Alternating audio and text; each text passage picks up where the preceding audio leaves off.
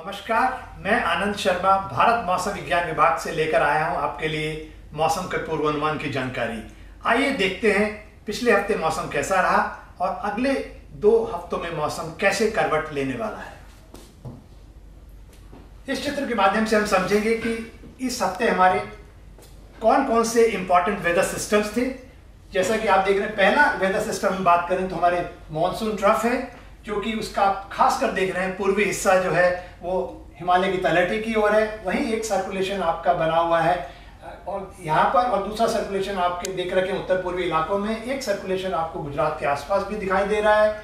वहीं आपकी जो ट्रफ है ऑफशोर ट्रफ, यानी ट्रफ यहाँ मैं बताना चाहूँगा, ये कम दबाव का एक विस्तारित क्षेत्र है, जिसको हम ट्रफ कहते हैं। इसमें पूरे में जो है आपका प्रेशर जो है काफ़ी कम रहता है। ऐसे ही एक आपके पास देख रहे हैं, आपके पास उत्तर, दक्षिणी ट्रफ भी बनी हुई है इस क्षेत्र में। और साथ में जो दो मुख्य बातें आपको सामने दिखाई दे रही हैं यहाँ पर, कि बंगाल की खाड़ी से नमी वाली दक्षिणी हवाएँ जो हैं, खासकर उत्तर पूर्वी इलाकों की ओर बढ़ रही थी। और यहाँ पर ये जाके, जिसे कहते हैं हम लोग कन्वर्ज हुई, और खासकर जो यहाँ की जो भौगोलिक संरचना जिस तरह की है, ये नमी वाली हवाएँ वहाँ जाके फंस जाती हैं और ज़्यादा से ज़्यादा पानी अपना उस इलाकों में बरसाती हैं और वही मुख्य कारण रहा यहाँ पे ज़्यादा वर्षा का। वही बात करें तो अरब सागर से तो यहाँ पर भी हमें देखने को मिल रहा है कि जो दक्षिणी हवाएँ और दक्षिणी पश्चिमी हवाएँ थी, ये नमी लेकर आई हमारे उत्तर भारत, पश्चिम भारत की तरफ़ और उसके साथ साथ हमारे पास एक पश्चिमी जो वेस्टर्ली ट्रफ है, वो भी मौजूद थी हमारी मिड ट्रोपोस्फेरिक लेवल में, यानी कि जो हमारा जो वायुमंडल का निचली जो लेयर होती है ट्रोपोस्फेयर, उसमें करीब करीब छह किलोमीटर के आसपास ये स्थित था। अब इन चित्रों के माध्यम से हम देखेंगे कि ये हमारा दिखाता है कि हर तीन घंटे की जो हमारे उपग्रह से जो चित्र प्राप्त होता है, उसका हमने एनिमेशन बनाया। इसमें आप देख सकते हैं कि जहाँ जहाँ आपको घने बादल दिखाई दे रहे हैं, खासकर जो उत्तर पूर्वी इलाके हैं हमारे और उत्तर पश्चिम भारत में भी, जहाँ हमें अच्छी खासी अभी हाल ही में देखने को वर्षा मिली थी। और वहीं ये चित्र आपको दर्शा रहा है, किन क्षेत्रों में आपको ज़्यादा वर्षा मिली, किन क्षेत्रों में कम मिली तो यदि आप बात देख रहे हैं यहाँ पर, जहाँ आपको ब्लू कलर, यानी कि नीला रंग और लाल रंग दिखाई दे रहा है, उन क्षेत्रों में भारी या बहुत भारी वर्षा देखने को मिली। तो ऐसे क्षेत्र आपको कुछ क्षेत्र यहाँ पे भी मिले हमारे पास, जो खासकर देखने का ये जो पश्चिमी तट है और थोड़ा सा हम लोगों को इन क्षेत्रों में भी बीच बीच में अच्छी खासी वर्षा की देखने को मिली, खासकर पंजाब, हरियाणा और दिल्ली एनसीआर के रीजन में।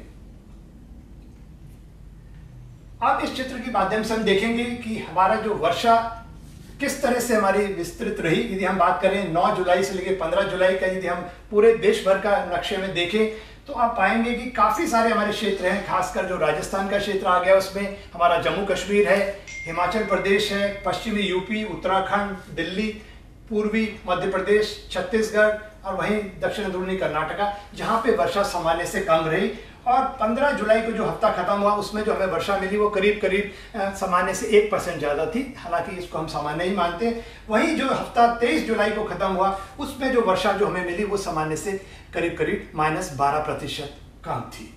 अब बात करते हैं हमारे जो जितने रीजन हैं तो आप देखेंगे इसमें 15 जुलाई तक जो हमारे 14 हमारे जो मौसम के उपखंड थे, उनमें कहते हैं वर्षा या तो सामान्य रही या सामान्य से ज़्यादा रही, वहीं 10 उपखंड में ये सामान्य रही और 12 उपखंडों में वर्षा सामान्य से कम रही।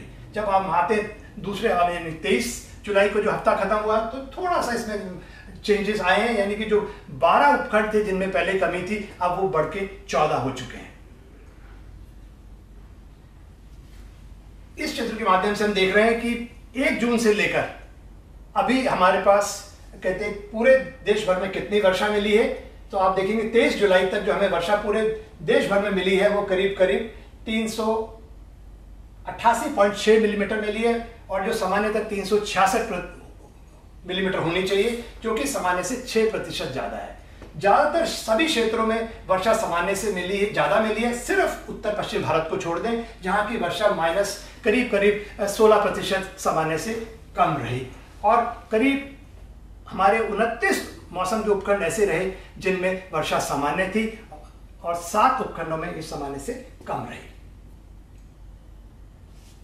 अब बात करते हैं आज के वेदर सिस्टम्स के बारे में। तो आप देखेंगे कि जो हमारा मानसून ट्रफ है खासकर उसका जो पश्चिमी हिस्सा है, वो आपके हिमालय की तलहटी की ओर है, वहीं जो पूर्वी हिस्सा है, जो है थोड़ा सामान्य से नीचे है। और एक सर्कुलेशन आपके बांग्लादेश के आसपास बना हुआ है, जो कि अब कल तक उसमें जो है वो बिल्कुल कमज़ोर पड़ जाएगा। और एक सर्कुलेशन आप नीचे भी देख रहे हैं, अरब सागर में, अगर कोई इसको ज़्यादा इंपॉर्टेंट नहीं है। और मानसून एक ट्रफ इन वेस्टर्ली भी आपको दिखाई दे रही है जो वो भी कमज़ोर पड़ चुकी है, और अब ये आगे को बढ़ के खत्म हो जाने वाली है। अब बात करते हैं अगले एक हफ़्ते के वर्षा के पूर्वानुमान की। तो ये हमारा जो जीएफएस मॉडल है, ये बेसिकली एक जो मॉडल होते हैं, वो हमारे जो फिजिक्स और मैथमेटिकल इक्वेशन के आधार पर हम प्रकृति के और वातावरण के, वायुमंडल को समझने की कोशिश करते हैं। उसके आधार पर जो हमारा ये मॉडल है, उसके आधार पर ये प्रिडिक्शन आप देख सकते हैं। तो ये जो मॉडल आपको दिखा रहा है, कहाँ का वर्षा आपको ज़्यादा मिलने वाली है और किन क्षेत्रों में आपको वर्षा कम मिलने वाली है। अब बात करते हैं हमारे अगले दो हफ्तों के मौसम के पूर्वानुमान की। तो इस क्षेत्र में आप देख ही रहे हैं कि पहले हफ़्ते में आपको कुछ वर्षा की बढ़ोतरी दिखाई दे रही है, खासकर उत्तर पूर्वी इलाकों में, और थोड़ी बहुत वर्षा जो है उत्तर पश्चिम भारत के इलाकों में भी मिल सकती है। और मध्य भारत में जो है वर्षा सामान्य से कम रहने वाली है। और वहीं दक्षिण प्रायद्वीप की बात करें तो वहाँ सामान्य या सामान्य से ज़्यादा वर्षा मिलने वाली। दूसरे हफ़्ते की बात करें तो दूसरे हफ़्ते में उत्तर पूर्वी इलाकों में वर्षा में थोड़ी कमी हो सकती है और वहीं मध्य भारत में वर्षा में बढ़ोतरी हो सकती है और दक्षिण के प्रायद्वीप में वर्षा में बढ़ोतरी होगी। अब बात करते हैं अगले दो हफ्तों के मौसम के पूर्वानुमान की समरी के बारे में। तो पहला जो मुख्य बिंदु उभर के आता है वो है कि अगले एक हफ़्ते में बंगाल की खाड़ी में कोई भी कम दबाव का क्षेत्र नहीं बनने वाला है। और वहीं बात करें हमारी जो मानसून ट्रफ की तो मानसून ट्रफ जो इस फ़िलहाल जो है उसका पश्चिमी हिस्सा जो है हिमालय की तलहटी की ओर है और वहीं पूर्वी हिस्सा जो है सामान्य है। मगर आगे जैसे हम बढ़ेंगे तो 25-26 के आसपास जो है ये जो मानसून ट्रफ है उसमें फ्लक्चुएशन होगा और उसका जो पूर्वी हिस्सा है, वो हिमालय की तलहटी में चला जाएगा, वहीं पश्चिमी हिस्सा जो है, वो अपनी सामान्य स्थिति में आ जाएगा। जब ऐसा होता है तो उसके चलते जो है, आपके उत्तर पूर्वी इलाकों में एक बार फिर वर्षा, मूसलाधार वर्षा मिलने वाली है। यानी कि उत्तर पूर्वी इलाकों में, खासकर 26 से उनतीस के बीच में फिर बाढ़ की संभावना बनेगी, कोई राहत नहीं मिलने वाली है, बाढ़ होगी, भूस्खलन फिर मिलने वाला है तो इसलिए लोगों को सावधानी बरतनी होगी और नदी, नालों और निचले इलाकों से दूर रहना होगा। वहीं आप बात करें हमारे, कहते हैं, मध्य भारत की तो मध्य भारत में खासकर जो है आपका, कहते हैं, मध्य प्रदेश, छत्तीसगढ़, झारखंड, पूर्वी राजस्थान, उड़ीसा, इन क्षेत्रों में वर्षा सामान्य से कम रहने वाली है। यानी कि यहाँ जैसा कि हमने पिछले सप्ताह भी पूर्वानुमान दिया था कि खासकर जो है आपके पूर्वी मध्य प्रदेश और जो पूर्वी मध्य भारत है वहाँ वर्षा सामान्य से कम रहने वाली है। किसानों के लिए थोड़ी समस्या हो सकती है यहाँ पर। हालाँकि आज कुछ थोड़ी उस इलाकों में कुछ वर्षा ज़रूर मिली है। वहीं आपके कहते बात करें आ, दूसरे हफ़्ते की तो दूसरे हफ़्ते में आप ये देखने को मिलेगा आपको कि जो हमारा मध्य भारत है, वहाँ कुछ अच्छे संकेत मिल रहे हैं। वर्षा में बढ़ोतरी होगी और उसके साथ साथ हमारा कहते दूसरे हफ़्ते में हमारी वर्षा मिलने वाली है, खासकर मध्य भारत के लिए।